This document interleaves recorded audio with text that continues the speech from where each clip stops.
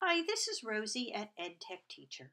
Have you ever created um, a digital activity in Google Slides or Google Drawings and you wish that you had many of the same object? So, in other words, you wanted to duplicate um, a selection of objects so that your students had an infinite pile to demonstrate their learning. So in this video, I'm going to show you how to do that in this Google slide. So I have an open Google slide and you can see we're going to make some money.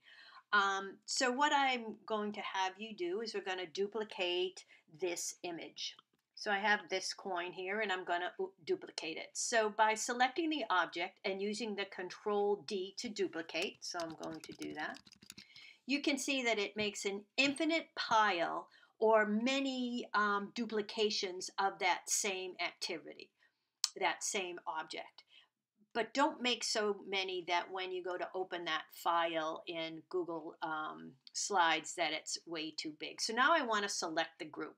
So to select this collection of duplicate items, I'm going to use this lasso tool and I'm just going to drag them with my mouse and I now have selected that entire group all at one time. So now I'm going to go up to the Arrange menu and I'm going to say align and I'm going to say align to the center. And you can see how now all my objects that are the same um, are one on top of the other. So while the objects are still selected, I'm going to go back to Arrange and back to Align, and this time I'm going to select Middle. So now it looks like I only have one object, but it's still really a pile of those same objects. My dictionary, I'm going to make a dollar. So you can see I'm just pulling off additional um, dimes until I would make the desired amount of um, amount of money. So this is a quick and easy trick.